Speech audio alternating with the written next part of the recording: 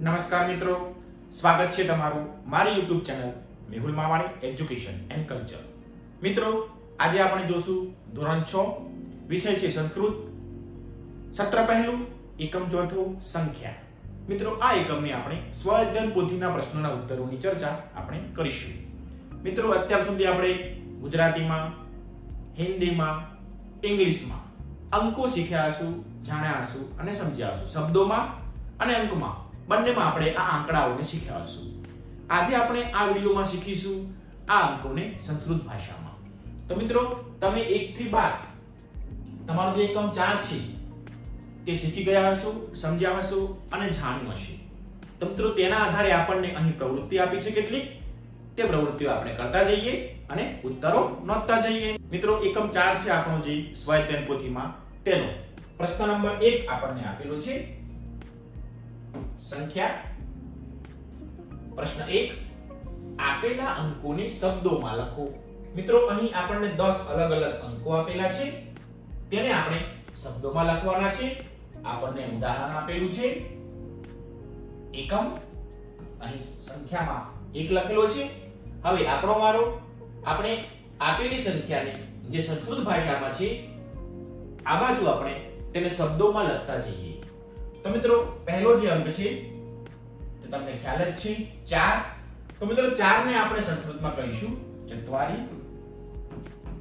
તો શબ્દોમાં આપણે નોંધતા જઈશું. પછી 8 અષ્ટ. ત્યારબાદ આગળ. 10 સટક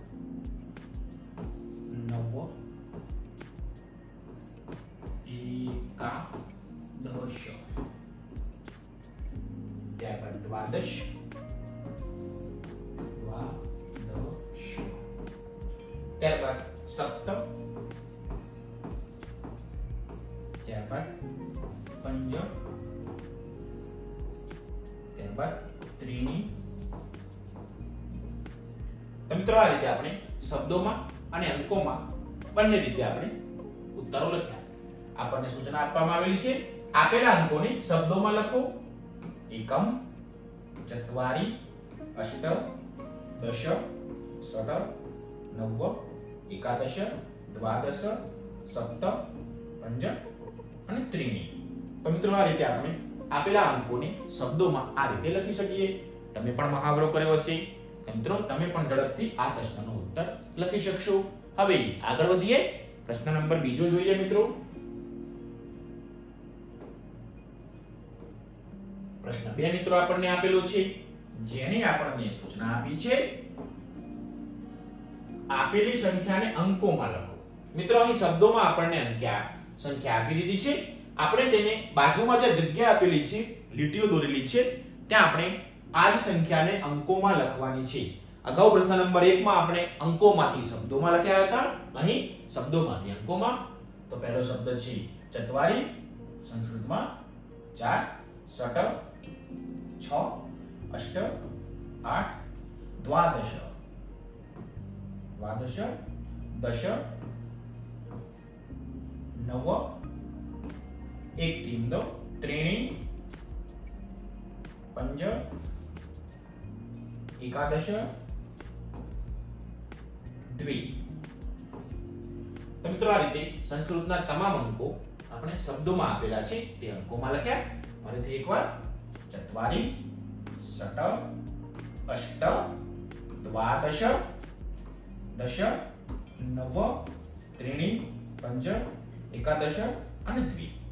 તો મિત્રો આ રીતે આપણે શબ્દો જે આપણને આપેલા છે, સંખ્યા શબ્દોમાં, તેને આપણે અંકોમાં લખીએ. હવે આગળ જોઈએ, પ્રશ્ન નંબર ત્રીજો. આપણને શું કહેવા માંગે છે?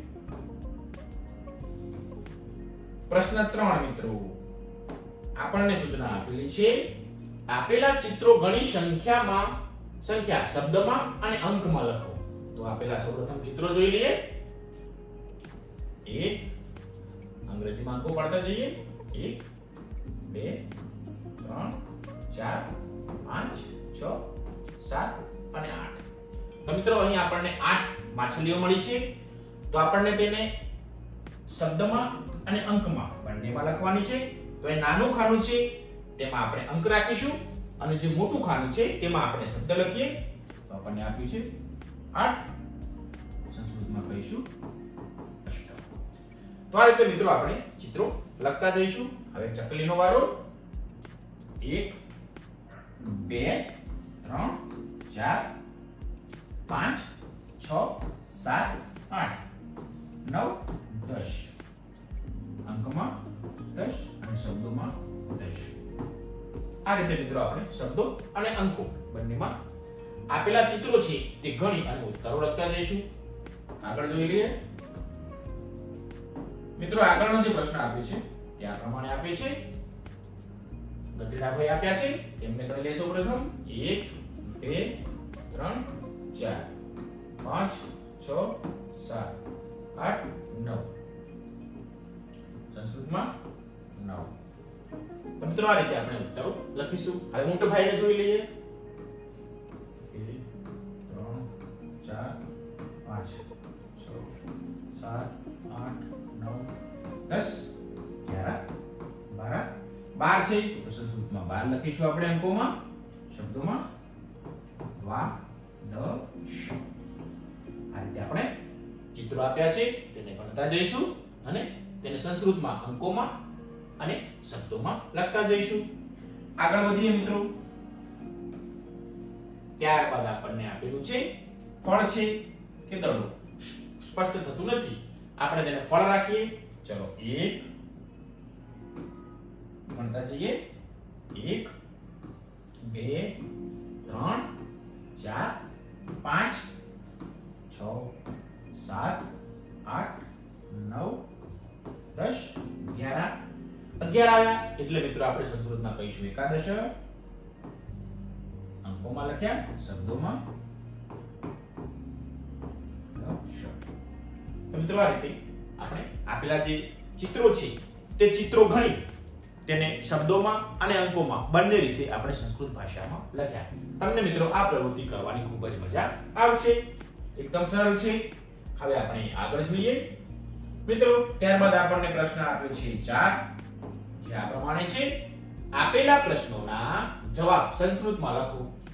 મિત્રો, અહીં આપણને જે જવાબ લખવાનો છે, તે સંસ્કૃતમાં લખવાનો છે. સૌપ્રથમ આપણે ઉદાહરણને જોઈ લઈએ.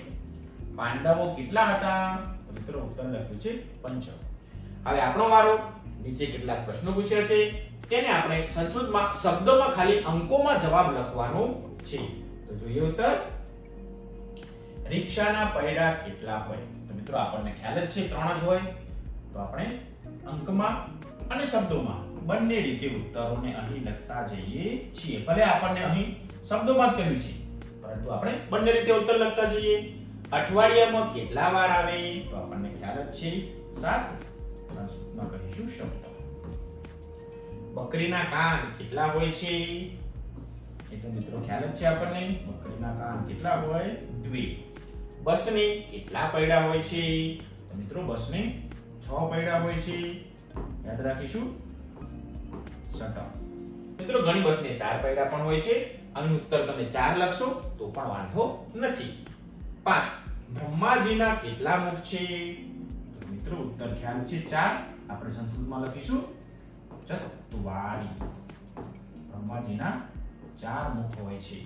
તો આ રીતે રિક્ષાના પૈડા ત્રીની અઠવાડિયાના વાર સપ્તમ બકરીના કાન દ્વે બસને કેટલા પૈડા તો સટમ અને બ્રહ્માજીના કેટલા મુખ તો ચતવાડી તો મિત્રો આ રીતે આપણે ઉત્તરો લખતા જઈશું હવે આગળ જોઈએ મિત્રો પ્રશ્ન નંબર પાંચ જોઈએ પ્રશ્ન પાંચ મિત્રો ખૂબ જ જોરદાર છે આપણને આ પ્રવૃત્તિ કરવાની ખૂબ જ મજા આવશે આપણને સૂચના આપી છે નીચેના શબ્દો ચોરસમાં ચોરસમાંથી સંખ્યા શોધી તેને ફરતે લીટી કરો મિત્રો, અહીં આપણને નીચે કૌંસમાં શબ્દો આપી દીધેલા છે. આપણે આ શબ્દોને આ કૌંસની અંદર શોધવાના છે. આપણને ઉદાહરણ પણ આપી દીધેલું છે, દ્વાદશ. તો તેમને આ રીતે દ્વાદશ આપણને શોધીને આપેલું છે. હવે જે બાકીના શબ્દો છે, તે આપણે કૌંસની અંદર શોધતા જઈએ. તો જોઈએ ઉત્તરો. પહેલો છે નવ. મિત્રો, નવ આ રહ્યો, તેની પર આપણે આ રીતના મૂળ કરી દઈશું. ત્યાર પછીનો મિત્રો શબ્દ છે દશ. તો મિત્રો, દશને આપણે શોધીશું.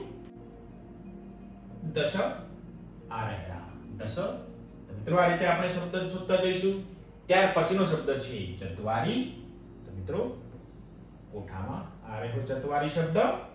ત્યાર પછી છે એકમ. મિત્રો, એકમમાં ખાસ ધ્યાન રાખીશું. એકમ આ રીતે લખીશું. આ સિવાય તમને કોઈ જગ્યાએ એકમ અલગ રીતે મળી જતો હોય, તો તમે તે નોંધી શકો છો. મિત્રો, ત્યારબાદ છે શબ્દ અષ્ટ. તો મિત્રો, અષ્ટ રહ્યો આ કોઠામાં. અહીં અષ્ટ શબ્દ આપેલો છે. ત્યારબાદ છે સટ. સટ એટલે છ. મિત્રો, આ રહ્યો સટ શબ્દ. ત્યાર પછીનો શબ્દ છે એકાદશ. મિત્રો, એકાદશ શબ્દ આ રહ્યો. આ રીતે આપણે શોધતા જઈશું. ત્યાર પછીનો શબ્દ છે દ્વે. દ્વે એટલે બે. તો મિત્રો, ઉત્તર આ રહ્યો દ્વે. ત્યાર પછીનો શબ્દ છે દ્વાદશ, તો મિત્રો દ્વાદશ આપણને શોધીને જ આપ્યું છે, એટલે આપણને તે શોધવાની જરૂર નથી. ત્યાર પછીનો શબ્દ છે ત્રીણી. તો મિત્રો, ત્રીણી શબ્દ આ રહ્યો. મિત્રો, આ રીતે આપણે તમામ શોધતા જઈશું. અને છેલ્લો શબ્દ છે સપ્ત. તો મિત્રો, સપ્ત શબ્દ છે તે આ રહ્યો.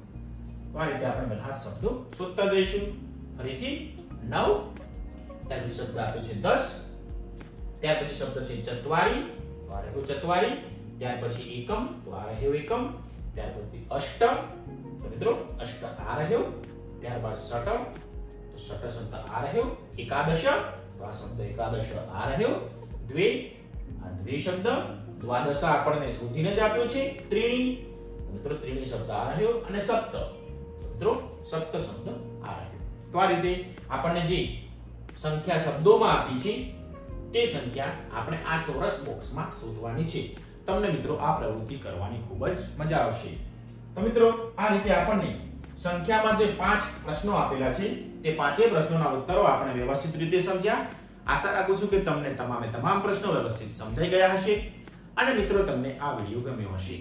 જો મિત્રો તમને આ વીડિયો ગમ્યો હોય, તો પ્લીઝ મિત્રો વિડીયોને શેર, લાઈક અને સબસ્ક્રાઇબ કરવાનું ચૂકશો નહીં. સબસ્ક્રાઇબ કરવાથી જ્યારે પણ હું નવા વીડિયો લઈને આવીશ, તો તમારા સુધી ઝડપથી પહોંચી શકીશ. તમારો ખૂબ ખૂબ આભાર.